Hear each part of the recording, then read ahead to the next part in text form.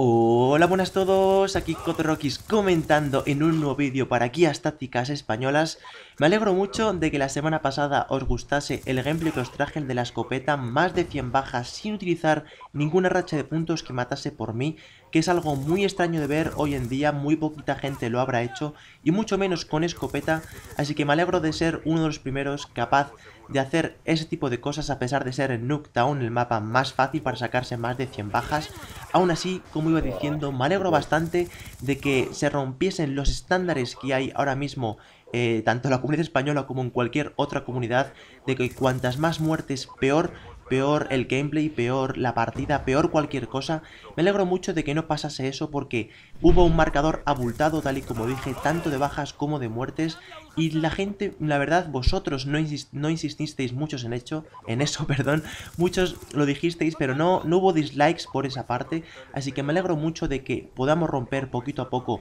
esos estándares que hay, esos tipos de montajes que nosotros sacamos y que se ven muy muy poquito en la comunidad española, súper poco se podría decir, que no están ni catalogados como montajes. De ahí que yo los llame muchas veces, esto no es un montaje, pero bueno, pasando al tema principal, mucha gente siempre nos dice que, que cómo ruseamos, por qué ruseamos de esa forma, por qué jugamos de ese estilo, cómo podéis vosotros rusear, jugar de esta forma, de estar todo el rato corriendo, de que no te manden por la espalda, deciros que no hay un truco, no hay nada preestablecido, no hay nada, eh, yo qué sé, unos temas, unos puntos que te digan así lo vas a hacer bien, así lo vas a hacer mal. Yo no puedo hacer un tutorial como me han podido pedir muchas veces mis suscriptores o como vosotros seguramente si sigo aquí poco a poco me pediréis en un futuro. No es algo que haya hecho hasta ahora, decir cómo rusear, por dónde ir, qué es lo que hacer exactamente. Yo siempre suelo dar unos pequeños consejillos porque yo, a modo particular, yo aprendí a jugar de este estilo, que por cierto,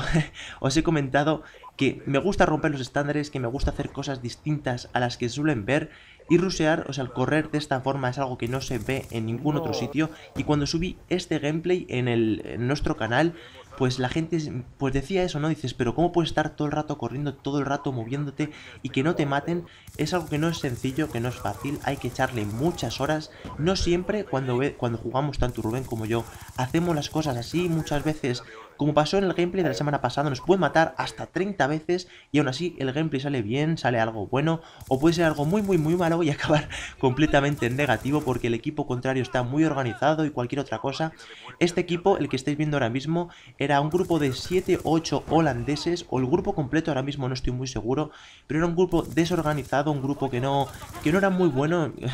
a pesar de ser todo un clan o todo holandés o todo lo que fuera, no es que sea un grupo muy bueno, así que estas son las cosas que podéis aprovechar si veis que la gente está muy despistada, que tocan grupos que no son muy buenos, pues podéis empezar a practicar, podéis empezar a ver cómo juega la gente, lo mejor de todo y cómo aprendí yo a rusear es mirar, mirar y mirar, aprender mirando, imitando. Sí, hay mucha gente que dice que mirando cómo juegan las personas al fútbol o mirando cómo juegan las personas al baloncesto no se aprende. Y yo es algo en lo que no estoy de acuerdo. También se puede mirar aprendiendo, perdón, también se puede aprender mirando, observando, viendo lo que hace la gente. Yo, como iba diciendo, a modo particular, aprendí gracias a unos ruses americanos, a The Mark J, a Fiarkratz, que no son ruses ruses completamente, sino por ejemplo Dying Soldiers, Sandy Ravage, son gente que está todo el rato en constante movimiento, que no campean casi nada. Entonces lo más fácil, lo que yo hacía, era mirar por dónde iban, qué armas usaban, qué ventajas usaban, intentar copiarme de ellos, intentar mejorar lo que ellos hacían.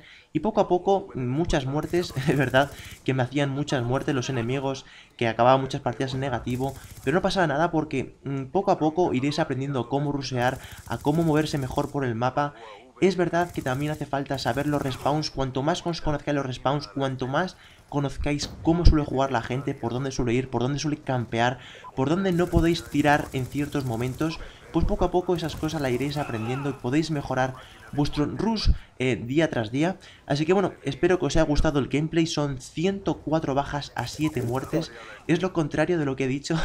de que queremos romper esos estándares de no morir mucho o no morir poco, que da exactamente igual las muertes, da exactamente igual las bajas. Lo bueno es jugar, lo bueno es correr, moverse, estar todo el rato en constante movimiento por el mapa, yendo a la acción todo el rato a los spawns enemigos, cambiarlos y volver a darte la vuelta y volver a matar una y otra vez. Así que bueno, he hecho un par de cortecillos para que el gameplay no se hiciese muy largo, tal y como hice en mi canal. Así que nada, espero que hayáis disfrutado del comentario sobre todo, que es algo que lo que traeré más tarde en algún futuro porque la verdad no debe haber cortado tanto el gameplay ya que se ha hecho muy muy cortito el comentario. Así que bueno, nos vemos la semana que viene. Un saludo, hasta luego y adiós.